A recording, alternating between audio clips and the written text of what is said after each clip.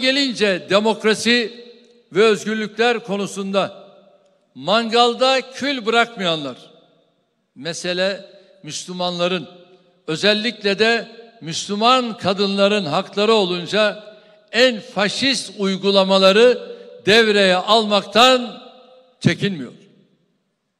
Kimi Avrupa ülkelerinde başörtüsüne okul, iş hayatı ve kamusal alanda getirilen hukuk dışı kısıtlamalar bunun en çarpıcı örnekleridir.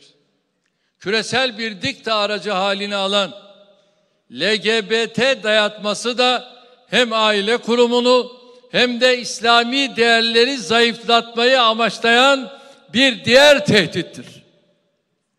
Hangi cafcaflı ambalaja konursa konsun, insanların dinlerini yaşamasına mani olmak, zorbalıkla inançlara müdahale etmek, kendi hayat tarzını dikte etmek, orta çağın engizisyon ruhunu yeniden hortlatmak demektir.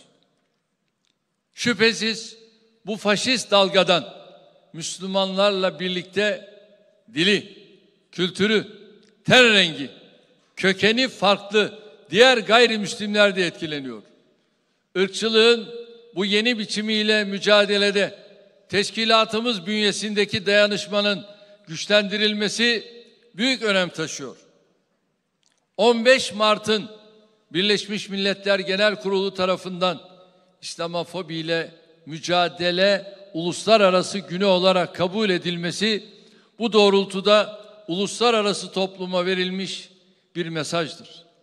Öte yandan Yunanistan'daki Müslüman Türk azınlığına yönelik yıllardır süren haksız ve hukuksuz uygulamalar artarak devam ediyor. Yunanistan'daki kardeşlerimizin dini liderleri tanınmıyor. Vakıfları ve malları gasp ediliyor. Ana dillerini öğretmenlerine öğretmelerine izin verilmiyor. Kimlikleri reddediliyor. İslam alemi Yunanistan'da zulme uğrayan kardeşlerimizin durumuna daha fazla seyirci kalmamalıdır. İslam ümmetinin